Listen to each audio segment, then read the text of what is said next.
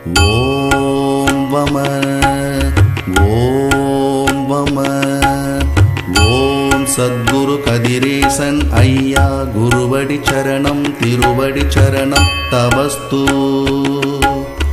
ॐ वम ॐ वम वों सद्गुरुकदिरेशन् तिरुवडि चरणं तवस्तु।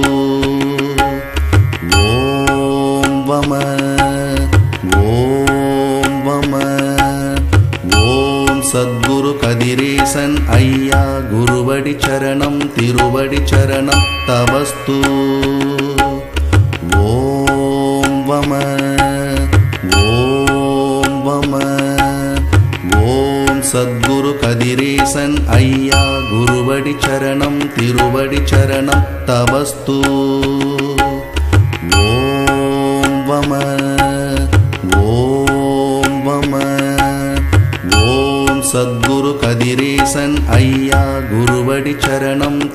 திருவடி சரணம் தவஸ்து.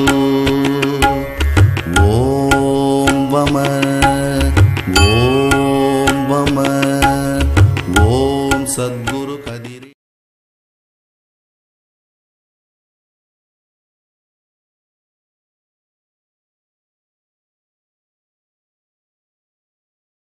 சித்தடிமை யூடியூப் சேனல் நேர்களுக்கு எனது அன்பான வணக்கம்.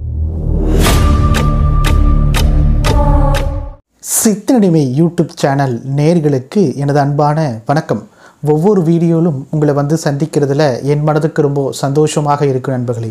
தொடர்ந்து ஆவிகள் மற்றும் அமானுஷியங்கள் சம்பந்தப்பட்ட பதிவுகளுக்கு நம்மளுடைய சித்தனடிமை யூடியூப் சேனலை சப்ஸ்கிரைப் பண்ணாத நண்பர்கள் சப்ஸ்கிரைப் பண்ணுங்கள் அருகில் இருக்கக்கூடிய பெல் ஐக்கானை கிளிக் பண்ணுங்கள் நண்பர்களே நம்மளுடைய சித்தடிமை யூடியூப் சேனலில் நிறைய வீடியோக்களை அமானுஷ்யங்கள் சம்மந்தப்பட்ட என்னுடைய அனுபவங்களை தொடர்ந்து நான் பதிவேக்கம் செய்து கொண்டிருக்கேன். பெரிய ஒரு சக்ஸஸ்ஃபுல்லாக நம்மளுடைய சேனல் போய் கொண்டிருக்குன்னு சொல்கிறத நீங்கள் போடக்கூடிய மெசேஜ் நீங்கள் போடக்கூடிய கருத்துக்கள் இதெல்லாமே நான் பார்க்குறேன். கமெண்ட் செக்ஷன் எல்லாமே ஃபுல்லாகவே நான் தான் பார்க்குறேன். என்னென்ன கமெண்ட்டுகள் வந்திருக்கு? புது புது விஷயங்களை பற்றியான பதிவுகளை வந்து போடுங்க. ஜடாமுடியை பற்றி பதிவுகள் போடுங்க. முனியை பற்றி பதிவுகள் போடுங்க. குலதெய்வத்தை பற்றி ப பதிவுகள் போடுங்க கருப்பசாமி பற்றி போடுங்க அப்படி நிறைய விஷயங்கள் நிறைய நண்பர்கள் வந்து ஒரு ரெக்வஸ்ட்டாக வச்சுருக்காங்க. எல்லாமே ஒன் பை ஒன்னாக நான் வந்து மகான் சிவகுமார் ஐயா கிட்ட கேட்டு நான் அனுமதி பெற்றதுக்கப்புறம் நான் வந்து அந்த வீடியோக்களை பதிவு செய்ய நான் முயற்சிக்கிறேன். ஆனால் கண்டிப்பாக நான் வந்து நம்மளுடைய சேனலில் நீங்கள் கமெண்ட் செக்ஷனில் போட்ட எதிர்பார்த்த அனைத்து விஷயங்களும் நான் வந்து போடுறேன். ஒரு கமெண்ட் வந்திருக்கு கமெண்ட் செக்ஷனில் எப்படின்னா பெண்களுக்காக ஒரு டிப்ஸ் கொடுங்க அப்படின்ட்டு ஒருத்தங்க கேட்டிருக்காங்க. அவங்களுக்காகவும் ஒவ்வொரு வீடியோவும் பெண்களுக்கு மட்டும் இல்லை பொதுவாக எல்லாருக்குமே டிப்ஸை வந்து நம்ம வந்து சொல்லலாம். அதனால் வீடியோவோட தொடக்கத்திலே அந்த டிப்ஸை சொல்லிவிட்டு அதுக்கப்புறம் இந்த தொகுப்பை ஆரம்பித்தா இனியும் ஆரோக்கியமாக இருக்கும் அப்படின்னு நான் நினைக்கிறேன். நம்ம வீடியோவை ஸ்கிப் பண்ணாமல் பாருங்கள் இந்த வீடியோ பிடிச்சிருந்துச்சுன்னா லைக் பண்ணுங்கள் கமெண்ட் பண்ணுங்கள் ஷேர் பண்ணுங்கள் இப்போது தொழில் பண்ணக்கூடிய ஆண்களுக்கும் பெண்களுக்கும் நான் ஒரு விஷயம் சொல்கிறேன் சொந்தமாக தொழில் பண்ணுறீங்க இல்லையா? நீங்கள் ஒரு ஆஃபீஸ் போட்டிருக்கலாம். அதாவது சொந்தமாக தொழில் பண்ணுறவங்களுக்கு மட்டும் வேலைக்கு போகிறவங்களுக்கு இந்த டிப்ஸ் கிடையாது. சொந்தமாக தொழில் பண்ணுறவங்க அவங்க எந்த தொழில் வேணால் பண்ணட்டும். அவங்க வேலை பார்க்கக்கூடிய இடத்துல செவ்வாய்க்கிழமையும் வெள்ளிக்கிழமையும் என்ன பண்ணணும் அவங்க உட்காண்ட்ருக்காங்க இப்போ நீங்கள் வந்து ஒரு ஆஃபீஸில் உங்களுக்கும் தனியாக ஒரு கேபின் இருந்தாலும் சரி இல்லை உங்களுடைய கடையில் நீங்கள் உட்காந்துருந்தாலும் சரி நீங்கள் உட்காந்துட்டு இருக்கிறதுக்கு ஆப்போசிட்டில் எப்பயுமே இப்போ நீங்கள் உட்காந்துருக்கீங்கன்னா ஆப்போசிட்டில் நின்ற கோலத்தில் இருக்கக்கூடிய பெருமாள் நின்ற கோலத்தில் இருக்கக்கூடிய தனியாக ஒரு பெருமாள் இருப்பார். இப்போ நீங்கள் இந்த பெருமாளை வெங்கடாஜலபதி பெருமாளை நீங்கள் பார்த்துட்டிங்கன்னா நகைகளெல்லாம் போட்டுட்டு காட்சி கொடுப்பார். அந்த பெருமாள் கிடையாது. மனித ரூபத்தில் நின்றுட்டு காட்சி கொடுக்குற மாதிரி ஒரு பெருமாள் இருப்பார். இப்போ நீங்கள் திருப்பதி போயிருந்தால் நின்ற கோலத்தில் ஆசீர்வாதம் பண்ணக்கூடிய ஒரு பெருமாள் இருப்பார். நீங்கள் நார்மலாக கேலண்டரை பார்க்குற பெருமாள் வேறு நின்ற கோலத்தில் இருக்கக்கூடிய பெருமாள். அந்த நின்ற கோலத்தில் இருக்கக்கூடிய புகைப்படத்தை லேமினேஷன் பண்ணி நீங்கள் நீங்கள் உட்காந்துருக்கிறதுக்கு ஆப்போசிட்டில் வச்சிடணும் எப்பயுமே. எப்பயுமே உங்களுடைய பார்வை அடிக்கடி அந்த பெருமாளுடைய மேலே பட்டுட்டு இருக்கணும். அந்த பெருமாளும் உங்களை பார்த்து கொண்டிருக்கக்கூடிய ஒரு அமைப்பு மாதிரி நீங்கள் உருவாக்கிக்கணும். அதே மாதிரி உங்களுடைய ஆஃபீஸில் வெள்ளிக்கிழமையானா குளிகை சாம்பிராணி பொடியை போட்டு விடுங்க. நீங்கள் பணமெல்லாம் வைக்கக்கூடிய ஒரு பகுதியாக இருந்தால் அங்கே எப்பயுமே உப்பு கல் உப்பு இருக்குது பார்த்தீங்களா அந்த கல் உப்பை ஒரு ஒரு பிடி நம்ம கையில் எடுத்துகிட்டு ஒரு வெள்ளை காகிதத்தில் போட்டு மடித்து லப்பர் பேண்ட் போட்டு அதுக்கு சந்தனம் குங்குமம் வச்சு அந்த கல்லாப்பட்டி எங்கே இருக்கோ அங்கே வந்து நீங்கள் பணம் எங்கே வைக்கிறீங்களோ? செக்கா செக்காக இருந்தாலும் சரி இல்லை வந்து நீங்கள் வந்து பணம் புழக்கமாக இருந்தாலும் சரி அது எந்த இடத்துல வைக்கிறீங்களோ அங்கே வந்து அதை மறக்காமல் வச்சுருங்க. இப்படி நீங்கள் எல்லாரும் தொடர்ந்து வச்சுட்டு வந்தீங்கன்னா உங்கள்கிட்ட இந்த வீண் செலவுகள் இருக்கு இல்லைங்க பார்த்தீங்களா இப்போது ஒரு செலவுனால் அதற்கு வந்து பார்த்திங்கன்னா ஒரு ஒரு ரீசன் இருக்கணும். இப்போ நம்ம சம்பாதிக்கிறோம் தேவையில்லாமல் செலவாக இருக்கும். ஒரு மருத்துவ செலவு வந்தால் ஒத்துக்கலாம். நம்ம கர்மா ஓகே.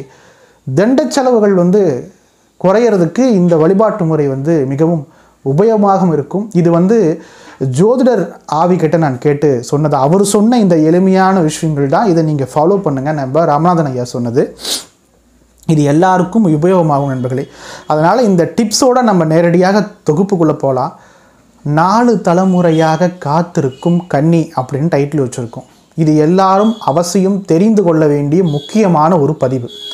அதனால் இந்த வீடியோவை பொதுவாக நம்ம வீடியோ நீங்கள் ஸ்கிப் பண்ணுறதெல்லாம் எனக்கு நல்லாவே தெரியும். முழுதாகவே நீங்கள் எல்லாரும் பார்க்குறீங்க. அது- இந்த- இந்த வீடியோ உங்கள் எல்லாருக்கும் அதிகமாக உபயோகமாகக்கூடிய ஒரு விஷயமாக இருக்கும். இப்போது எனக்கு வர பர்சனலாக வரக்கூடிய ஃபோன் கால்ஸ் என்ன தெரியுங்களா? எனக்கு இன்னி கல்யாணம் ஆகலை. என்னுடைய வாழ்க்கை சரியாக இல்லை. எல்லோரும் என்னை ஏமாற்றுறாங்க வாழ்க்கையே கேள்விக்குறியாக போயிடுச்சு கஷ்டம் மேலே கஷ்டம் வருதுங்க எங்களுக்கு. எங்கள் மாமனார் இறந்துட்டாரு எங்கள் எங்கள் ஹஸ்பண்ட் இறந்துட்டாரு என் பிள்ளைகள் இறந்துட்டாங்க. இப்படியே எங்கள் வீட்டில் இறப்புகள் வந்து கொண்டே இருக்குது எங்கள் வீடு வந்து ஒரு சுபிட்சமாகவே இல்லை. எங்கள் வீடு வந்து ஒரு சுபிட்சமாகவே இல்லை. எங்கள் தலை எங்களுடைய தலைமுறையே கேள்விக்குள்ளாகக்கூடிய கஷ்டம் எங்களுக்கு வந்திருக்கு. எந்த கோவிலுக்கு போனாலும் தீர மாட்டேங்குது எந்த பரிகாரம் பண்ணாலும் தீர மாட்டேங்குது யாரை போய் சந்திச்சாலும் தீர மாட்டேங்குது எல்லாரும் பணத்தை வாங்கி கொண்டு கம்பி நீட்டுறது தான் வந்து வேலையாக வச்சுருக்காங்க. என்ன பண்ணுறது அப்படின்னு நினைக்கிறவங்களுக்கு எல்லாருக்கும் இந்த பதிவு ரொம்ப உபயோகமாக இருக்கும் நண்பர்களே. பொதுவாக நம்மளுடைய தலைமுறை இப்போ ஒவ்வொரு வீட்டில் நீங்கள் எடுத்துக்கிட்டிங்கன்னா அவங்களுடைய தலைமுறையில் நான்கு வயதிலிருந்து பெண் பிள்ளைகள் நான்கு வயதிலிருந்து ஆறு வயதுக்குள்ள அம்மை போட்டோ இல்லை ஒரு கொடிய நோய் வந்தோ இறந்து போன பெண்கள் ஒரு உயர்நிலை தெய்வ நிலைக்கு போயிடுவாங்க. அதாவது நான்கு தலைமுறை உங்களுடைய தலைமுறையிலேருந்து நான்கு தலைமுறை நீங்கள் ஞாபகம் வச்சுக்கணும். அந்த நான்கு தலைமுறையில் இந்த மாதிரி ஒரு கன்னி பெண் வந்து பார்த்தீங்கன்னா சாபமோ ஆக்ரோஷமாகவோ அடங்காமையோ இருந்தாங்கன்னா இந்த பாதிப்புகள் நடக்க ஆரம்பிக்காது. எப்படியெல்லாம் ஆகும் சொல்கிறத இன்றைக்கி ஒரு நண்பர் மூலியமாக நம்ம தெரிஞ்சுக்குவோம். ஏன்னா என்னை தேடி ஒரு நண்பர் வந்தார். அந்த விஷயத்தை நான் வந்து சரி பண்ணுறதுக்கு முயற்சி பண்ண போகும்போது அந்த விஷயத்தில் நான் இறங்க போகும்போது தான் பல விஷயங்கள் எனக்கு தெரிய வந்தது. அதுதான் என் எனக்கு இருக்கக்கூடிய ஒரு இந்த இந்த கன்னி தெய்வங்கள் மீது இருக்கக்கூடிய அந்த ஈர்ப்பு அதோடைய வீரியம் எந்த அளவுக்கு இருக்கும் அப்போ அதோடைய பாதிப்புகளும் எந்த அளவுக்கு இருக்கும் அப்படின்னு சொல்கிறத இன்றைக்கி நம்ம முழுதாக நம்ம தொகுப்புக்குள்ளே போக போகிறோம் இரண்டாயிரத்தி பதினெட்டில் அதாவது ஒரு இரண்டு வருடங்களுக்கு முன்னாடி ஒரு இரண்டு வருடம் ஒரு நான்கு மாதங்களுக்கு முன்னாடி என்னை தேடி ஒரு நண்பர் ஒருத்தர் வந்தார். ஞானவேல் அப்படின்னு அவருடைய பேர். அவர் வந்து திருச்செங்கோடு மாவட்டத்தை சேர்ந்தவர். அவர் நிலம் வீடு இது எல்லாமே வந்து மூழ்கிடுச்சு. நல்ல குடும்பம் பண்ணிட்டு இருந்தார் முழுகிடுச்சு. சரி நான் கேட்டேன் ஏங்க நிலம் முழுகிடுச்சுன்னா உங்கள் கர்மாவாக இருக்கலாம். நீங்கள் அதை இன்னும் சம்பாரிச்சுக்கலாம். இல்லைங்க எங்கள் வீட்டில் வந்து ஃபஸ்ட்டு வந்து எங்கள் அப்பா இறந்துட்டார். அதுக்கப்புறம் என் பிள்ளை ரெண்டு பிள்ளை இறந்துடுச்சு. என் வீட்டில் இருக்கிற மாடு இறந்துடுச்சு. என் சொத்து பத்து எல்லாமே போயிடுச்சு. என்னன்னே தெரியல. ஏதோ ஒரு விஷயம் எங்கள் வீட்டில் இருக்கிற மாதிரி என்னுடைய மனைவி பார்த்துருக்காங்க என்னுடைய கொ- இறந்து போன என்னுடைய பிள்ளைகள் பார்த்துருக்காங்க. நானும் பார்த்தேன் எனக்கு அது வந்து ஒரு வியப்பாக இருக்குது நீங்கள் வந்து எனக்கு இது மூலியமாக நீங்கள் வந்து இதை நடந்தது நடந்த விஷயம் வந்து நடந்துருச்சுங்க. நீங்கள் வந்து அதை மாற்றணும்னு நான் சொல்லி நான் உங்ககிட்ட கேட்கல இது ஏன் நடந்தது? எதனால் நடந்தது? இதை எனக்கு வந்து நீங்கள் டீட்டெயிலாக எக்ஸ்பிளைன் பண்ணி எனக்கு புரிய வைக்கணும் அப்படின்ட்டு அவர் என்கிட்ட கேட்டுக்கிட்டார். நான் அவர் சொன்ன டீட்டெயில் எல்லாமே வாங்கிட்டு நமது மகான் கதிரேசன் ஐயா அவர்களை உடனடியாக தொடர்பு கொண்டு கேட்கும்போது மகனே உனக்கு ஐந்து மணிக்கு நான் வந்து உனக்கு பதிலளிக்கிறேன். உன்னை பார்க்க வந்த அந்த நபரை சிவன் கோவிலுக்கு போய் உட்கார்ந்து பிரார்த்தனை பண்ண சொல் அப்படின்ட்டு மகான் அவர்கள் எனக்கு வாக்கு கொடுத்துட்டு அவர் கிளம்பிட்டார். நான் அவர்கிட்ட சொன்னேன் ஐயா இந்த மாதிரி நீங்கள் பக்கத்தில் சிவன் கோவில் இருக்குது இங்கேருந்து நடந்து போனீங்கன்னா ஒரு மூணு கிலோமீட்டர். நீங்கள் போங்க பூஜை பூஜை உச்சிகால பூஜை நடந்துகிட்ருக்கும் பூஜை முடிச்சுட்டு ஒரு ஹோட்டலில் போய் சாப்பிட்டுட்டு மறுபடியும் நான்கு மணிக்கு போயிட்டு சிவன் கோவிலுக்கு போய் உட்கார்ந்து பிரார்த்தனை பண்ணுங்க. ஐந்து மணி அளவில் என்னை வந்து சந்திங்க. ஒரு ஐந்து ஒரு ஐந்தே கால அளவில் என்னை வந்து சந்திங்க ஐயா அப்படின்ட்டு நான் அவர்கிட்ட அன்பு வேண்டுகோளாக சொல்லிட்டு நண்பர்களே. அவர் வர்றதுக்கு ஒரு பதினைந்து நிமிடங்களுக்கு முன்னாடி நான்கு மணி ஐம்பத்தி ரெண்டு வினாடிகளில் மகானவர்கள் என்னை தொடர்பு கொண்டார். எல்லா விஷயங்களும் சொல்லிட்டார். எல்லா விஷயத்தையும் அவர் ஏன் நடந்தது எதுக்கு நடந்தது எல்லா விஷயங்களும் சொல்லிட்டு மகான் அவர்கள் எனக்கு ஒரு எச்சரிக்கையான ஒரு பதிவு ஒன்று கொடுத்தார். முன்னாடி வந்து உட்காண்ட்ருக்கான்ல அவனுக்கு இந்த விஷயம் சொல்லிவிட்டு அவனை உங்ககிட்ட இருந்து போயிடு நாளையிலேருந்து நீ அவனை தொடர்பு கொள்ளாதே உனக்கு வில்லங்கமான விஷயங்கள் வரும் இதோடைய வீரியம் ரொம்ப ஜாஸ்தி அப்படின்னு எனக்கு வான் பண்ணார். வான் பண்ண போகும்போது எனக்கு மகான் அவர்கள் இருக்கார் அப்படின்னு சொல்கிறத எனக்கு வந்து அது பெரிய தெரியல. மறுபடியும் வரம் பாருங்கள் அவர் என்னை தேடி வரார். வந்தோடனே சொன்னேன் உங்களுடைய நான்கு தலைமுறைக்கு முன்னாடி ஒரு பெண் வந்து அம்மை போட்டு இறந்துட்டாங்க. நானும் கேள்விப்பட்டிருக்கேன். எங்கள் எங்கள் பாட்டிகள் மூலியமாக நான் கேள்விப்பட்டிருக்கேன். அப்படின்னு சொன்னார். அதை நான் உறுதிப்படுத்திக்கிட்டேன். இந்த விஷயத்தை சொன்னேன்னா அவர் அதை உறுதிப்படுத்தினார். அந்த விஷயம் இந்த பெண்ணுடைய அந்த கன்னி தெய்வமாக ஆக்ரோஷமாக இருக்குது அதோடைய வீரியம் இப்போ உங்களுடைய தலைமுறைக்கு வந்து பாதிக்க பாதிப்பு ஏற்படுத்தியிருக்கு. ஏன்னா அப்போது அந்த ஆன்மாவுக்கு நீங்கள் முறையாக வந்து பூஜை புனஸ்காரங்கள் செய்யலை அதை வந்து நீங்கள் தவிர்த்துட்டீங்க மறந்துட்டீங்க. மகானவர்கள் என்ன சொல்கிறாருன்னா நம்ம வீட்டில் சின்ன குழந்தைகளோ இறந்து போயிட்டாங்கன்னா அவங்கள நம்ம ஞாபகம் வச்சுக்கணும். இல்லைன்னா அந்த ஆன்மா அப்படி துடிக்குமாமா.